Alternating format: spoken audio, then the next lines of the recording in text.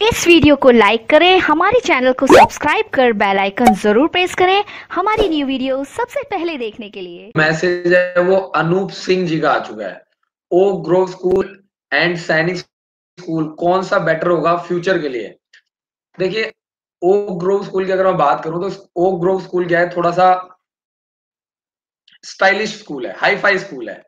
Boarding school है, एक लाख अस्सी हज़ार रुपए फ़ीस है, बिजनेसमैन के बच्चे पढ़ते हैं, ऑफिसर्स के बच्चे पढ़ते हैं और सीबीएसई बोर्ड की पढ़ाई के ऊपर ज़्यादा फोकस किया जाता है और सीबीएसई के पढ़ाई के साथ साथ बच्चों को फ्यूचर के लिए तैयार किया जाता है। तो एक स्मार्ट स्कूल आप कह सकते हैं ओ ग्रो स्कूल फ़ीस भी काफ़ी ज़्यादा है, एक लाख अस्सी हज़ार रुपए और ये सेंट्रल गवर्नमेंट का स्कूल है इंडियन रेलवे के द्वारा इसको चलाया जाता है। रेलवे एम्प्लॉयज़ को काफ़ी बेनिफिट होता है।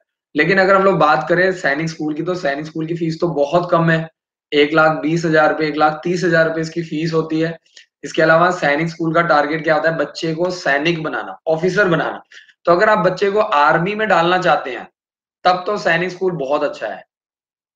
क्योंकि वहाँ पे डिसिप्लिन सैनिक स्कूल का कल्चर सैनिक स्कूल का जो तौर तरीका है, सवेरे पाँच बजे उठाना मॉर्निंग ड्रिल करवाना, हर चीज़ जो है बहुत ही आर्मी के रूल रेगुलेशन बस आप ये समझ जाइए कि आपका बच्चा आगे चल के फौजी बनेगा।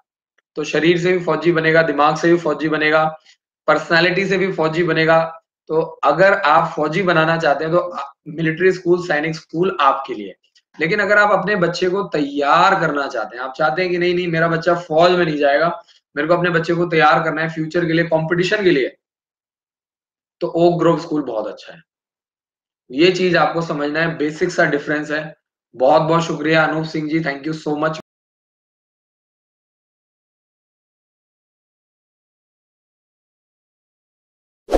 इस वीडियो को लाइक करें, हमारे चैनल को सब्सक्राइब कर बेल आइकन ज़रूर प्रेस करें, हमारी न्यू वीडियो सबसे पहले देखने के लिए।